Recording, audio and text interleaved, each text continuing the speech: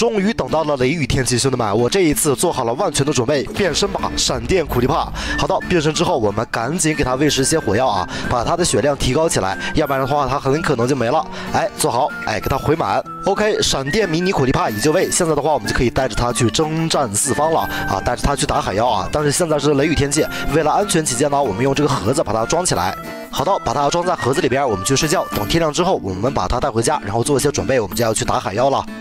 这一次我们打海妖的话，一定不能鲁莽行事，我们要做好万全的准备。我们先把这个苦力怕带回家啊，然后我们看一下这个盒子，这个盒子的话，它的血量只有半颗星啊，大家看到没有啊？不知道用什么方块可以把它的血量回一下，还可能给它赋予一些特殊效果啊。半颗星，我们回家找一下啊。我觉得用这个潜影壳应该是可以修复的啊。潜影壳这边有八个啊，来带上看一下能不能修复，能不能增加血量。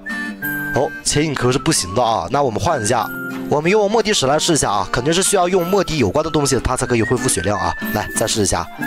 哎，墨地石也不行，那墨地还有什么东西呢？难道是紫松果吗？我们家里边有没有紫松果呀？找一下啊。紫松果的话，如果不能修复的话，那估计就是不能修复了。哎，哦，这边有四十二个，好的，来，我们修复一下，最后一次，能不能？哎呦，紫松果也不行，那就算了吧，半颗星就半颗星吧，反正它是一个无敌的状态啊，没有血量也没有关系。好的，我们来准备一下打海妖的材料啊。第一个呢，肯定是食物啊。我们家里边有一些金苹果，有一个金苹果，还有一个附魔金苹果，还有八个普通金苹果。我们来做一下金苹果啊。啊，金子不太多了呀。我们要做几个金傀儡？做三个金傀儡吧。做三个金傀儡，剩下的金子我们用来做金苹果。我们先把这个做金傀儡的材料啊放在千银盒里边。然后呢，我们再来做些金苹果啊，但是这个金子的数量又不够了呀。我们打海妖的话，一定要需要很多金苹果啊。这个海妖是特别强的，那这个金锭不行呀，兄弟们，要不然就下矿吧，我们再去挖一些金子啊。这个苦力怕我们先把它拴在家里边啊，万一它爆炸就完了。来来来，你给我回来，把它拴在这边。好的，兄弟们，我们出发挖金子。哎，对了，兄弟们，这个蜘蛛珠我们要不要带呀？这个东西的血量也是很高的啊，我觉得打这个，哎，我们试一下啊，看看能不能放在这个盒子里边。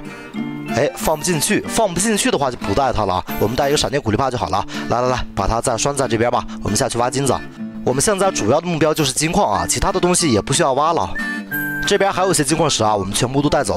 还有这个青金石，还有煤炭，全部都挖一下。我们现在没有做这个小黑塔啊，经验还是比较缺的。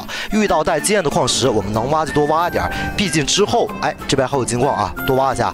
之后我们有了这个雨滴的话，哎，我们这个还要给它附魔啊，哎。好像是金矿石流到岩浆里边了，哎，不管了，我们继续找。哎，这边的话，我们好像之前来过啊，这边有些原石，应该是，哎，钻石。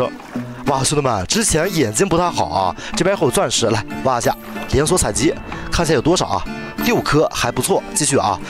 哎，这边还有绿宝石，哎，兄弟们，那我这之前来这边为什么没有看到呀？都挖掉，都挖掉。绿宝石的话也是经验，来。八级这边还有铁矿，铁矿的话也挖点。之后的话，我们还要做这个刷铁机啊。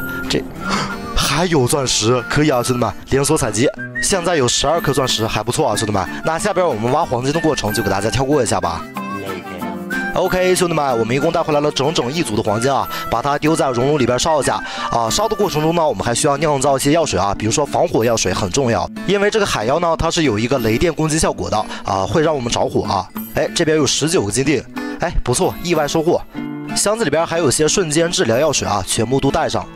然后呢，我们来酿造一下防火药水，在酿造台里边放三个水瓶，再放一个地狱油，把它酿造成不可合成的粗制药水。然后呢，我们还需要一些岩浆膏，把它打造成防火药水。岩浆膏的话，我们家里边是有的，刚才我已经看到了。哎，哪去了？哎，不对呀，兄弟们，岩浆膏呢？我刚才明明看到了，难道是我眼花了吗？啊，没有就算了吧，我们去下界打一个岩浆怪。来吧来吧，我们有抢夺赛啊，随随便便就可以获得很多的岩浆膏。哎，掉了。哎，好的，其实已经够了啊，但是来都来了，全部都收集一下。来来来，干他们。哎，好的，看一下啊，一共有九个啊，还可以。我们回家，把岩浆膏放进去，就可以变成防火药水。好的，再放一个红石粉，就可以把它们的防火效果加长。好的，八分钟的防火药水已就位，把它放在我们的钱银盒里边。那么接下来只差一些金苹果了。只有六个苹果啊，全部都做成金苹果。现在加上我们的这个附魔金苹果，一共有十个金苹果。我觉得打一个海妖，十个金苹果应该够了吧？剩下的话存在箱子里边吧。哎，算了，我们再做两个金块吧，再来召唤一个金傀儡。好的，现在一切准备就绪，我们现在就可以出发了。哦，对了，还要做一些面包啊。好的，好的，现在我们真的可以出发了，把苦力怕装在这个盒子里边。哎，等等，兄弟们，还有最后一件事啊！我们这个村民繁殖机啊，一直以来就是失效了。现在有这个盒子的话，我们可以把这个村民运上来啊，让这个村民繁殖机修复一下。哎，哎，它跑出去了。等会儿啊，我们先把这个水收一下。好的，起飞。哎，它上去了。现在的话，缺一个农民，缺一个繁殖村民。来，你先下来。这个的话，我们就让它变成农民。哎，来，好的，农民已经有了，还差一个。好的，再来最后一个繁殖村民。我们现在这个村民交易所啊，不对，村民繁殖季啊，又恢复了正常的运行。好了，那下边这些村民就没有用了，把他们宰掉。这大夏天的头发这么长，太热了是吧？给他们剃剃头啊。好了好了，一切准备就绪，我们走吧。我们出发去找海妖。这一次打海妖呢，我们有一个很明确的计划啊。我们要召唤四个金傀儡，还有这个闪电苦力怕，我们就落在一个小岛上边，然后呢，一直等待这个小岛刷新海妖。哎，这个办法只能这样了，守株待兔啊，没有其他的办法。因为不管是傀儡还是这个闪电苦力怕，他们都无法在水里边作战，所以只能这样了。这边也是一个小岛啊，四边都是水，我们在这边降落。哎，好的，我们在这边召唤一下金傀儡就好了。哎，我闪电苦力怕呢？哦，来了，吓死我了，我以为丢了。好的，把它放在这边，这边还有矿洞啊，兄弟们，把这边挡一下，要不然海妖刷新之后呢，又是海妖又是小江，太麻烦了。好的，我们在这边围一个两格高的围墙啊，把金傀儡召唤在里边。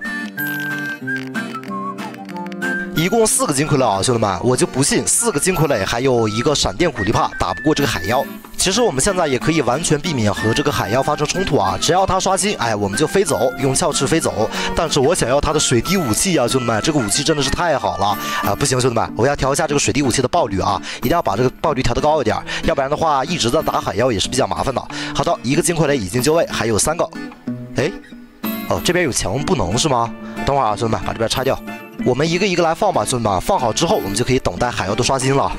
好的，兄弟们，四个金傀儡已经就位，海妖瑟瑟发抖啊！把它关在这个围墙里边，我们等待海妖出现之后，我们再把它放出来。现在还有个问题啊，这附近刷海妖是一个比较麻烦的事儿，因为这个刷新的几率很低啊啊，这个刷新几率也需要调高一点。然后呢，我们还要把附近的生物给它清理一下啊，只有附近的生物比较少，它才可能刷新啊。这边还有一个矿洞啊，把这边也挡一下。其实现在还有最后一个问题啊，兄弟们，这个苦力怕会不会和金傀儡发生冲突？